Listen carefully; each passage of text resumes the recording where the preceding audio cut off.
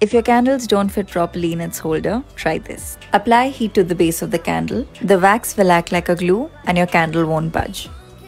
If your candles don't fit properly in its holder, try this. Apply heat to the base of the candle. The wax will act like a glue and your candle won't budge.